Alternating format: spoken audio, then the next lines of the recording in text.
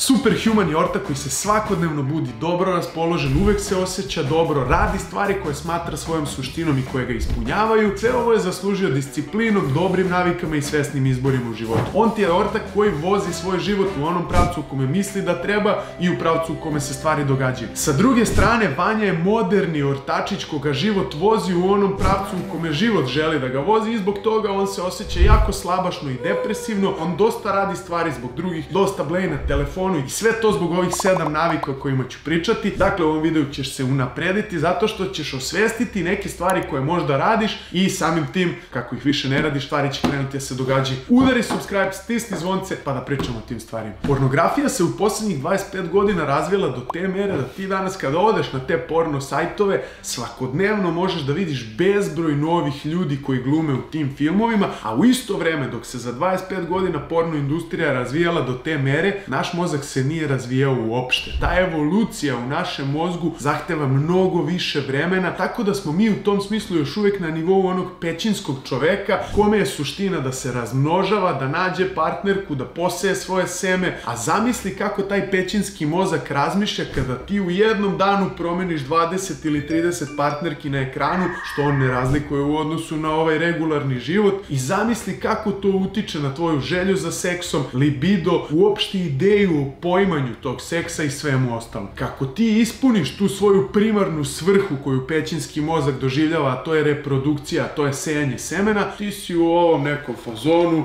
sad ćemo lagano, jedemo nešto masno, blejimo, nećemo ništa da radimo, čemu raditi posao ili bilo šta drugo kad smo ispunili svoju primarnu svrhu. A na to moramo da dodamo da nam ta stimulacija preko ekrana, koje naš mozak nije svestan, mnogo kvari onu svakodnevnu stimulaciju zato što jednostavno ne pale nas više iste stvari i verovatno da kada prestaneš s pornografijom treba ti neko vreme da se detoksikuješ od toga i da ti normalne stvari postanu normalne. I za kraj, edukacija dece preko pornića. Zamislite kako to ide sada u ovim trenucima gde neka normalna konverzacija, normalni odnos, neko lepo vreme se pretvara pretvaraju u ono, hvatam te prvo za kosu, dođi vamo. Razmisli malo o tome, to nisu baš stvari koje želimo da budu takve, ali ako ih osvestimo, mogli bi da rade i za nas ili barem neće raditi protiv nas. Društvene mreže su danas postale jedna verzija pornografije. Softcore, ali nije ni daleko od one hardcore pornografije i Vanja stalno bleji lista onaj feed zato što mu je to jeftini dopamin koji je u suštini hormon sreće, ostvarenja, zadovoljstva i koji se luči kada nešto postigneš, kada nešto dobro uradiš, kada zaslužiš. Društvene mreže su napravljene da te bace u trans i vidiš da ti je stigla poruka. Telefon, onda malo u vidi brojkica neka na Instagramu, ajde da pogledam, sljedeća scena, ono, listaš storije, prošlo sat vremena i na taj način luči se dopamin, stalno se menja kontekst, tvoj mozak koji je izlučio dopamin pre svega neće više da se cima ni oko čega, prazan si, nećeš da preuzmeš inicijativu, neće se stvari događati, ali to je samo sa jedne strane, a s strane mnogo ozbiljnija stvar da tvoj mozak od sada želi taj jeftini dopamin. Neće da se cima ovde da trenira šest mjeseci da bi izgledao malo bolje, nego jednostavno malo prelistaš Instagram i to je to. Po meni, superhuman je onaj koji zna šta radi na tim društvenim mrežama i uopšte u digitalnom svetu, blokira sebi vreme u toku dana kada će se time baviti, kada se njima ne bavi, kada trenira, on trenira, kada se druži, on se druži i sve ostale aktivnosti kada radi, on jednostavno ne ubacuje društvene mreže u to ukoliko ukoliko to baš nije neophodno i u opisu posla. Loše spavanje je sigurno jedna od najzastupljenijih loših navika u modernom svetu. Kako Vanja razmišlja? On je u fazonu treba da ustanem u 8, kad ću da legnem u 12. Pa da, to je 8 sati u krevetu, a daleko je od toga da ti 8 sati spavaš nekim korisnim snom. Nama treba minimum 20% celog tog spavanja da ne spavamo, nego da se jednostavno pripremamo za taj san ili da se budimo, tako da pre svega treba biti 9 sati u krevetu. I druga stvar koja je možda još važnija, treba leći što ranije, treba uraditi sve one dobre stvari u kojima pričam u raznim klipovima u vezi spavanja. Pre svega ne treba gledati u ekrane, barem 2-3 sata pred spavanja, ne treba ići na spavanje punog stomaka, treba izbeći kofein i ostale stimulanse u drugoj polovini dana i u ostalom pregledaj te klipove u vezi spavanja, pogotovo onaj u kome pričam o lepljenju usta flasterom da bi disao na nos, to je moja najbolja preporuka i najveća promjena koju sam napravio svom životu. Sljedeća loša navika mnogo je prisutna kod mlađih superhumana, budućih superhumana ili budućih vanja. Nažalost, i ovo će da digne dosta prašine. To su igrice. U osnovi muškosti leži i ta borba za statusom, borba za dominacijom, borba za osvajanjem. A kada to radiš u igrici svakodnevno, mnogo je manje šanse da imaš snage, da imaš energije, da imaš motivacije da to radiš svakodnevno. Vanja koji igre igrice svakodnevno, on pre svega dobija onu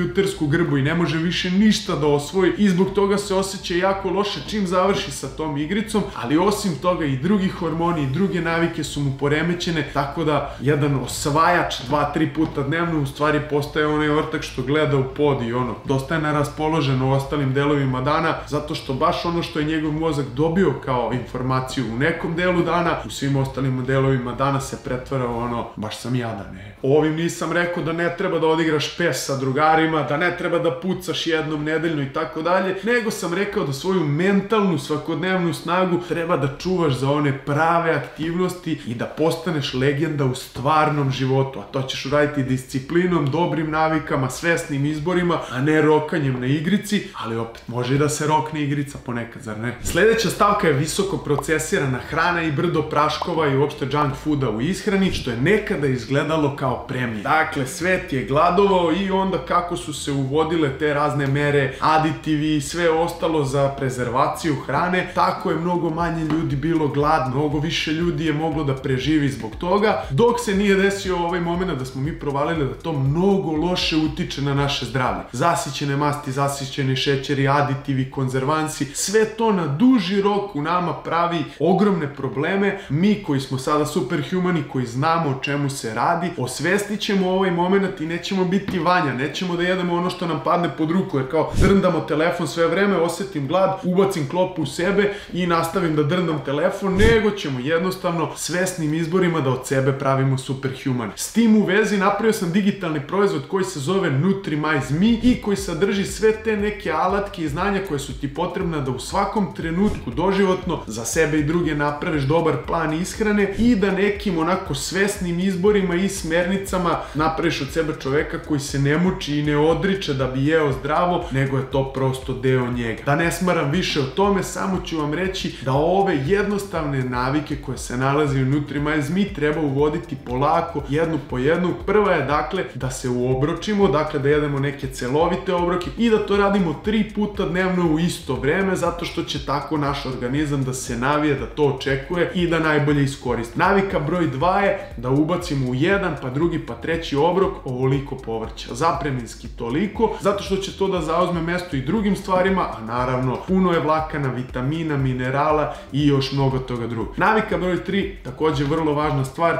dodaj proteine, 1,5 do 2 grama proteina po kilogramu na dnevnom nivou. To je nešto što će još mesta zauzeti, pomoći će ti da izgradiš mišiće, pogotovo ako treniraš, ali jednostavno, eto, ne jedeš toliko tih gluposti. Koga zanima Nutrimized Me, jako dobra stvar, ali ono što ću ovom prilikom reći, jedna po jedna navika, polako, promeniš i svoj identitet i onda tek ideš dalje, nemoj sve odjedno. Sljedeća stavka je Vanju baš uzela i sve vreme je dekoncentrisan, stalno zaboravlja stvari i uopšte gubi se u svojim mislima i to ti verovatno zvuči poznato i to se naslovljava sa manjkom prisustva u svom životu. Jako je važno biti prisutan u svojim svakodnevnim aktivnostima, ne možeš dok si sa porodicom da drndaš telefon, ne možeš dok se družiš sa društvom, da radiš neke druge stvari, poslovne razgovore, ne možeš kad si seo da radiš onu najvažniju stvar u svom životu, da masturbiraš ili da gledaš nešto zanimljivo na YouTube-u. Mnogo je važno biti prisutan i biti usresređen, a upravo ovaj modern život koji se jako brzo menja nam to baš i ne dozvoljava. Pre svega, meni mnogo pomaže da sve vreme izoštravam svoja čula ili ti da sve vreme pokušavam da vidim što bolje, da osjetim kakav je miris svega što me okružuje, da osjetim kakav je ukus ustima iako ne jedem trenutno, da osjetim šta me trenutno dodiruje i tim izoštravanjem čula u stvari pojačavaš svoje prisustvo, čak i usporavaš svoju percepciju vremena. Razmisli o tome, mislim da će to pre svega da te smiri. Sve što treba da uradiš jeste da se 15 minuta fokusiraš pre svega na svoj dugačak izdah, na nemanje mnogo misli, nema lutanja misli u glavi, možeš i da radiš to žmureći, možeš da radiš ležeći, možeš u onom stavu, samo se bavi time da ne radiš ništa. To je veoma važna i veoma redka pojava posljednjih dana i to je ono što valji, vali da bi postao superhuman. Za kraj ove priče ostavio sam stavku koja je sigurno najzastupljenija i najpodmuklija od svih ovih stavki, a to je nerazmišljanje svojom glavom. Znate da BS u pesmama često priča Misli svojom glavom, to je prava sloboda. i to stvarno jeste tako zato što mi mnogo verujemo, pogotovo Vanja, mnogo veruje u sve te priče koje su ispričane u školi, na TV-u. Znaš ono, čovjek je bio na mesecu i to je tako. Ajde razmisli malo da li je bio i da li je od tada mogao da bude još neki put pa da mi imamo neke realne slike i snimke svega toga ili samo kao bili smo i to je to kao. Ili jednostavno treba raditi teško i naporno i to ti je jedini način da živiš časno i da budeš srećan. Jeste, ali su se vremena do te mere promijenila da danas onaj ko radi teško i naporno ni ne stigne do toga da zaradi neke pare i samim tim neko vreme za sebe da bi uopšte mogao da uživa u životu, već jednostavno crnči i radi za druge. Tako je barem u 90% slučajeva, ali nećemo mnogo da pričamo o vanji, nećemo da pričamo o svim tim stvarima koje su nam servirane, nego ćemo da pričamo o tome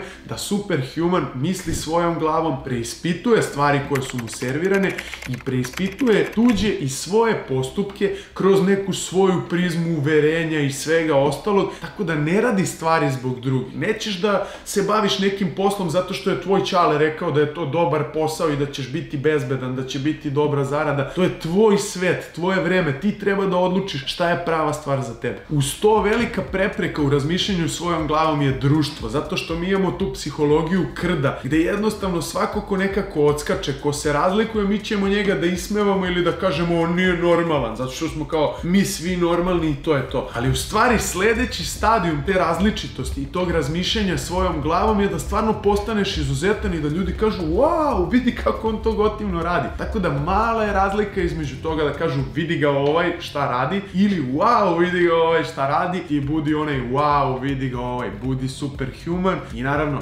ne samo ova stavka da misliš svojom glavom, nego kreni od početka, dobro razmisli o tome i nemoj da kriješ od sebe šta ti sve upražnjavaš od ovih stvari. Svi smo mi malo izbogovani u tom smislu. Prvo svesti svoje probleme, a onda i kreni da se baviš njima i to polako, postupno. Prvo imaš ceo život, drugo imaš samo jedan život i treće, dok si živ u igri si. Ajde vidimo se u sledećem videu. Ćao!